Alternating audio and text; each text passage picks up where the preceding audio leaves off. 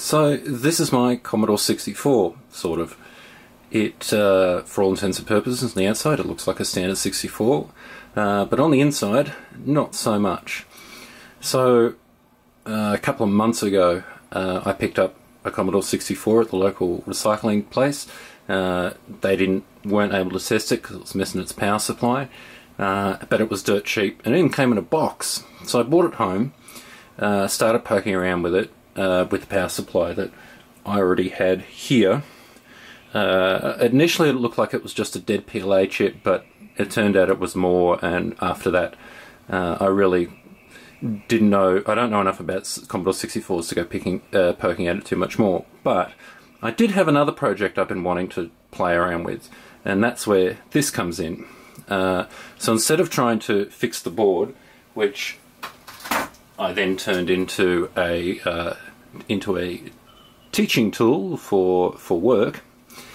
Uh, I decided to strip it right out, uh, and this is what it now looks like on the inside.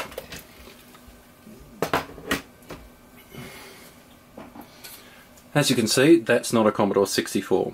So what we have here is we've got a Raspberry Pi mounted uh, and a Keyrah version 2 from, uh, I think they're made by Independent Computers. I bought this through Amiga Kit. Um, but I've made a few little changes and I've done things a little bit basically the way I wanted to see them done. Uh, I wanted to make sure that I had uh, access to both USB and network easily from the back of the machine. Uh, and any of the ports on a Raspberry Pi these days you can buy uh, panel mount extenders, a bit like this HDMI one here. Uh, but these ones were the the ones I used are the easiest ones to use. These ones can be a little bit more difficult, so that's why I uh, rotated the board this way. Uh, I cut out the little divider that normally goes here. Normally you've got your um, two circular ports just here, uh, so I've cut. I grind carefully ground out the uh, divider and mounted the Raspberry Pi there. We've then got a HDMI uh, panel mount header. Uh, I've made up backing plates to cover all the unnecessary holes at the back. They're made just out of some 1mm aluminium, uh, except for this one here. This one's made out of uh, plastic. Um, and so there's those. Now, one thing that I've never liked about the Raspberry Pis is no real kind of on and off function. Doing some research on this, I found this awesome little board here by uh, Pimoroni. It's simply called the Pimoroni on-off shim. Uh, and so you route your USB power into it. You can then also wire in a momentary touch button. Uh, and there's a little script that runs on, uh, under Raspbian uh, on the on the Pi. Uh, and this gives you a proper shut power up and shut down function, which I thought was kind of cool. Um, this wiring here, which goes up to a second LED up here, uh, it um, it was going to be. I wanted to try and mimic the the floppy drive light from a 1541. Um, it didn't really work out. Uh, there is two wiring spots on the bottom of the Pi just here where you can uh, basically mimic a hard drive light.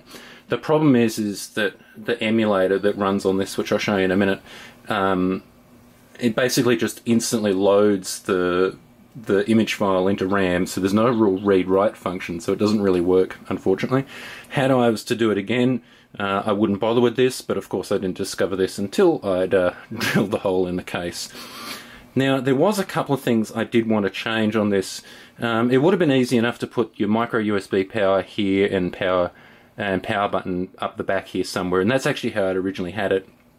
Uh, However, on a normal Commodore 64, your power buttons here uh, and your power inputs over here. The problem is, is on the on the Keyrah, this spot just here is taken up by a little uh, function switch, which switches the Keyrah uh, between two different functions, uh, symbolic and positional, I think. Uh, and this here is a USB port that you could, in theory, run an A to B cable from here into another computer and use this just as a keyboard, um, which is okay, but I've got no need for that. So the the switch in the USB port was uh, carefully removed from the Keyrah, and so then I mounted my power button here and my micro USB uh, header, which comes from here, uh, over to here. Uh, these mounts, and there's another one buried in under here, uh, are simply a couple of bits of uh, what we call in Australia wall plugs. They're about 5 mil high. They're super glued into place uh, and then uh, reinforced with just with a little bit of milliput, which is uh, some modelling putty basically. Uh, and that gives us the strength and there's just a couple of tiny little self-tapper screws which fit through the standard holes of the Raspberry Pi. okay, I will now show you the back of it and the side to give you an idea and then I'll show you how it runs. As you can see on the back, I uh, filled up all the gaps that are no longer necessary. Uh, if you have a look at that roundish uh, port just there, you'll see the two little screw holes next to it. That's where I originally had the micro USB mounted, but then I decided to move around the side where it kind of should be. Uh, that's where I've uh, widened those two ports there, so that's where the Raspberry Pi sits. Uh, the micro, uh, sorry, the HDMI now sits uh, sits there where that used to be, and then there's just another simply another blanking plate there, which kind of makes the whole back of it quite neat and tidy, if you ask me. Uh, and here at the side, this is where the Keyrah is. Uh, as you can see, we've got uh, the two 9-pin joystick ports, which are completely usable within the emulator uh, and uh, momentary touch power button and the micro USB power in uh, and it just uses a standard uh, 2.5 amp 5 volt micro USB charger.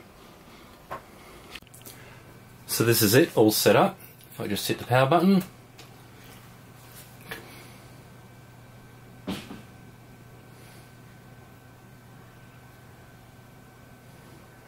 and it boots straight into uh, Vice. Now, what I'm running on this is a uh, Raspbian uh, distribution called Combian. I'll put a link down in the description, uh, which is essentially a ready to rock and roll uh, distribution uh, for for the Raspberry Pi to do exactly just this, just boot straight into uh, a Commodore 64 emulator. Now, a lot of people have put uh, RetroPie on these so they can play all kinds of other games. I've got other devices that do that.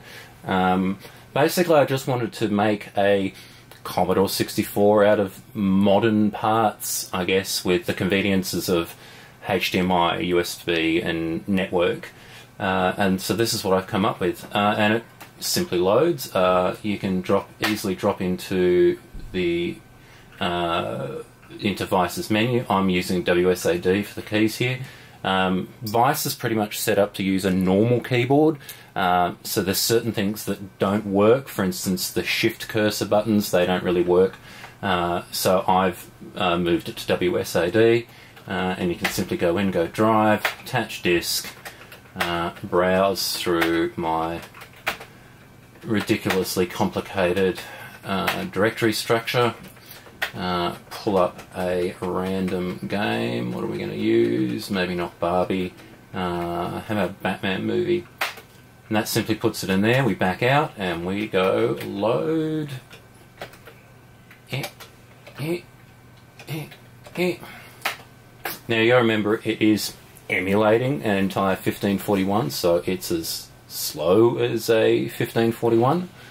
Um, with the with the Keyrah and the optional switch at the side, um, if I'd left that in, I would have been able to use the keyboard a little better under actual Linux if you quit out of the emulator. Um, however, I've managed to get quite a lot of disk images already on there, so hopefully I shouldn't have to do that very often. So hence why I've, I've hardwired it into one of the positions um, and so the keyboard all works fantastically uh, under Vice, and that's all I'm really interested in. Uh, if I do need to uh, mess around, I can either um, plug in a normal USB keyboard into the back uh, or SSH uh, into it. Um, yeah, and as you can see, it's uh, yeah, it's as slow as a 1541.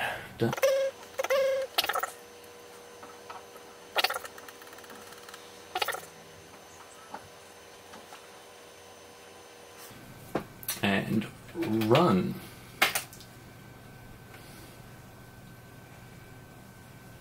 Dun, dun, dun.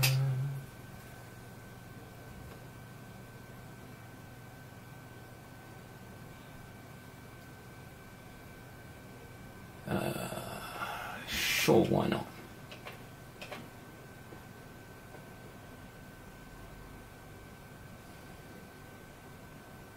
And there you go.